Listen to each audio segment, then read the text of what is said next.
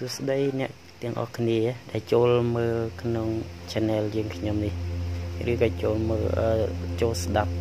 នៅ channel យើងខ្ញុំ ថ្ងៃនេះខ្ញុំនឹងលើកយកតែពីរចំណុចគឺមហាសទ្ធិ Carlos Slim Hello ហើយនិងមហាសទ្ធិលោក Bill Gates ដែល គាត់ជាមហាសេដ្ឋីលើពិភពលោកយើងនេះ អ្នកណាក៏ទទួលស្គាល់ថាលោកទាំងពីរនេះគឺមានទ្រព្យសម្បត្តិដ៏ស្ដុកស្ដំឬក៏ទ្រព្យសម្បត្តិដ៏ច្រើនគឺលោក Carlos Slim គឺមានទ្រព្យសម្បត្តិតិចជាងលោកលោក Bill Gates អញ្ចឹងលោក Carlos Slim គាត់មានទ្រព្យសម្បត្តិប្រមាណ45លាន45,000លានឯណោះ ចំណែកឯលោក Bill Gates វិញមានទៅ90,000លាន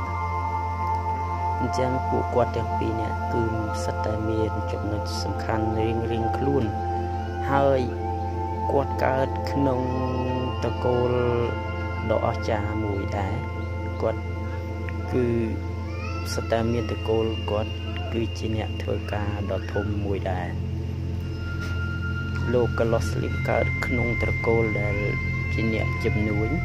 ចំណែកឯលោក Bill Gates កើតក្នុងត្រកូលអឺត្រកូលដែលលោកឪពុកលោកគឺជាមេធាវីហើយនឹងម្ដាយលោកគឺជាអ្នកធ្វើការនៅតាមក្រុមហ៊ុនឥឡូវនេះយើងនិយាយអំពីចំណុចសំខាន់របស់លោក Bill Gates មុនលោក Bill Gates គឺគាត់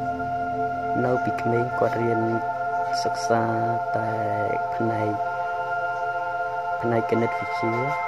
និងផ្នែកច្បាប់ដល់ពេលគាត់ប្រឡូកក្នុងការងារគាត់គឺចាប់អារម្មណ៍ទៅលើគ្រឿងអេឡិចត្រូនិកខាងកុំព្យូទ័រខាង software ពីដើមឡើយ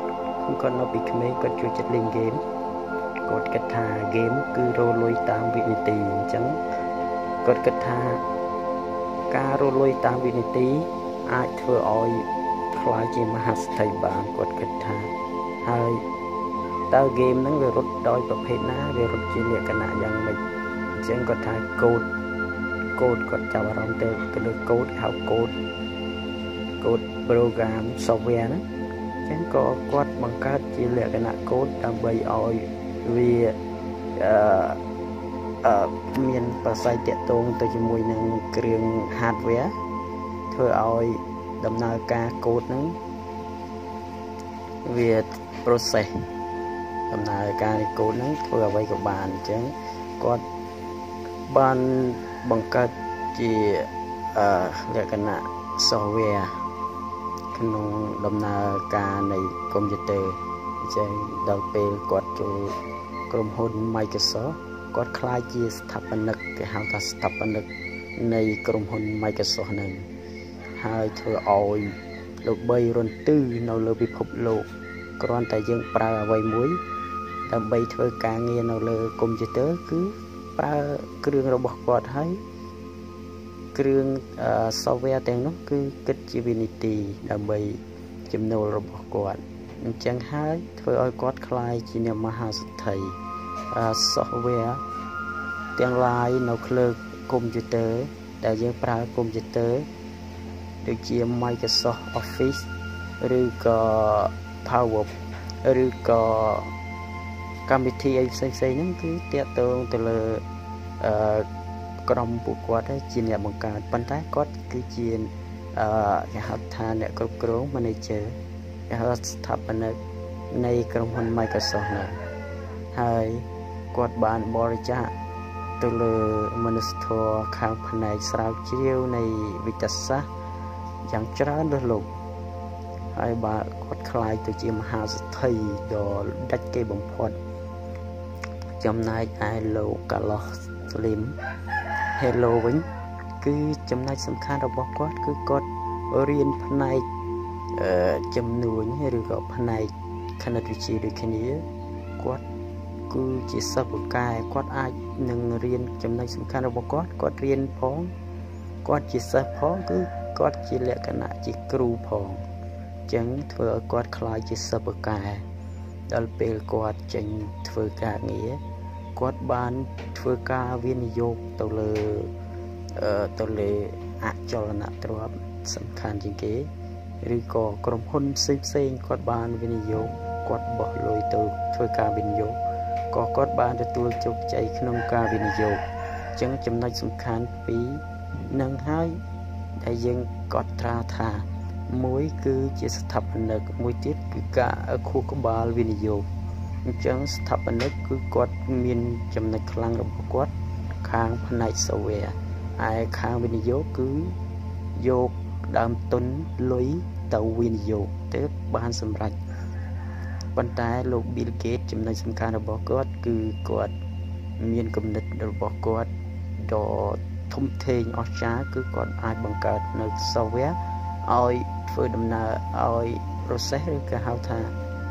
អាចប្រស័យតាក់ទងជាមួយ hardware បាន គ្រឿងអេឡិចត្រូនិកបានអញ្ចឹង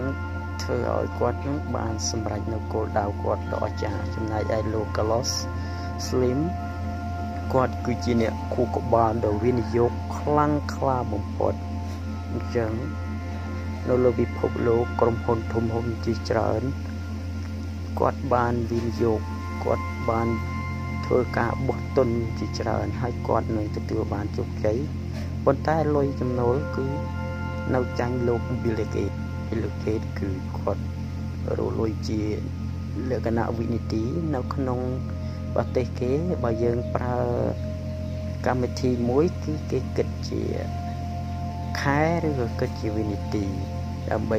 បងលុយបានយើងអាចប្រើបានតែចំណែកឯនៅតាមបណ្ដាប្រទេសមួយចំនួនដែលគេហៅថា hacker ឬក៏ cracker ឬក៏អត់មាន license ហ្នឹងយើងអាចប្រើដោយលក្ខណៈមិនទាន់ពេញលក្ខណៈតែបើសិនណា កម្មវិធីពេញលក្ខណៈពិតប្រាកដគឺគេត្រូវតែប្រើ license អញ្ចឹងសូមអរគុណសូមអរគុណដល់អ្នកស្ដាប់ទាំងអស់គ្នា